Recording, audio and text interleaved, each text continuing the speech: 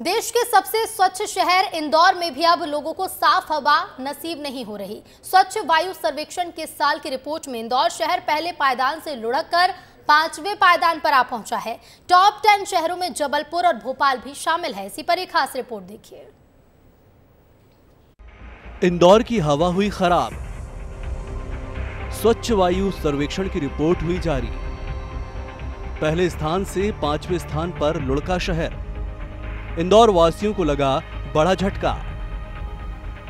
देश भर में सबसे स्वच्छ शहर के नाम से पहचाने जाने वाले इंदौर में भी लोगों को साफ़ हवा नसीब नहीं हो रही।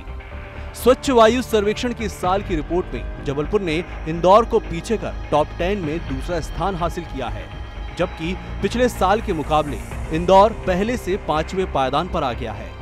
2023 में इस श्रेणी में इंदौर ने पहला स्थान हासिल किया था। लेकिन इस साल वह सातवें स्थान पर खिसक गया है। ये परिणाम इंदौर वासियों के लिए एक चिंता का विषय है। अब ऐसे में क्या पैरामीटर थे जिसमें इंदौर का परफॉर्मेंस अच्छा नहीं रहा? उसके बारे में विस्तार न्यूज़ आपको बताएगा। सेंट्रल पोल्यूशन कंट्रोल बोर्ड की रिपोर्ट में इंदौर जो पिछली बार नंबर वन था, सीधा फिसल कर नंबर सात पर आ गया है, जो इंदौर वासियों के लिए बिल्कुल भी खुशी की बात तो नहीं है। मैं अभी इंदौर की एमओजी रोड पर हूँ और आप देख सकते हैं मेरे ठीक पीछे की जो पेड़ यहाँ पर हुआ करते थे, उनको काट दिया गया है। तो आपको क्या लगता है आपके हिसाब से कि क्या कारण रहे ऐसे कि इंदौर जो है इस बार इतना पिछड़ गया पीछे? पिछड़ गया, यही कारण है कि पेड़ पौधे काटने के कारण है मेन चीज़ तो ठीक है?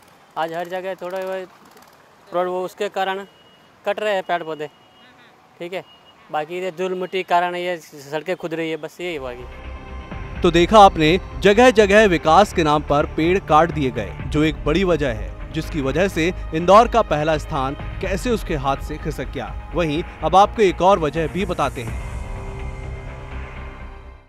मैं इस समय इंदौर के भवरपुआ चौराहे पर हूँ और आप ठीक मेरे पीछे देख सकते हैं कि यहाँ पर पूरा कंस्ट्रक्शन चल रहा है, पूरा विकास कार्य चल रहा है, जो एक मेन कारण मेन वजह थी, जिसकी वजह से इंदौर जो है नंबर वन से सीधा नंबर सात पर आ गया है। तो आप देख सकते हैं कि यहाँ पर जो कंस्ट्रक्शन चल रहा है, कितनी धूल मिट्टी यहाँ पर उड़ रही है। आप देख सकते हैं मेरे कैमरे के माध्यम से कि कितना धूल कितनी मिट्टी यहाँ पर आ गई है जो इंदौर, जिसकी वजह से इंदौर की जो वायु है वो खराब हो गई है। इंदौर जो स्वच्छता के लिए नंबर वन रहा है, वायु के लिए नंबर वन रहा है, वो आज सीधा नंबर वन से नंबर सात पर आ गया है। ये एक बड़ा कारण था जगह जगह कंस्ट्रक्शन का काम किया जा रहा है। ऐसे में धूल मिट्टी लोगों के लिए तो परेशानी बनी है, लेकिन इंदौर शहर का खिताब भी छीन ले गई। एक और तस्वीर आपको दिखाएँगे। अभी मैं इंदौर के मधु मिलन चौराहे पर हूँ। जैसा कि इंदौर इस बार वायु सर्वेक्षण में सीधा नंबर सात पर आ गया है, जो पिछली बार नंबर वन पे था। इसका एक मेन कारण ये भी है कि अवेयरनेस कैंपेन जिसे मैं कहूँगी जागरूकता लोगों में बहुत कम हो गई है। पहले हम देखते थे कि रेड लाइट पर जो वाहन रुक जाते थे, वो तुरंत अपने वाहन बंद कर लेते थे रेड लाइट देखते ही। लेकिन वो आजकल देखने को कम मिल गया है। रेड लाइट पर वाहन रुक कर भी चालू रहते हैं, जिसकी वजह से पोल्यूशन बढ़ता है और उसी के कारण आज इंदौर नंबर सात पर आ गया सीधा, जो पिछली बार नंबर वन पर था। अब तो आप भी समझ गए होंगे कि पहले नंबर पर राज करने वाला शहर कैसे सातवें नंबर पर आ गया है। पहले के मुताबिक लोगों में जागरूकता बहुत कम हो गई है। रेड लाइट पर भी अधिकतर वाहन चालू रहते हैं, जिसकी वजह से प्रदूषण होता है।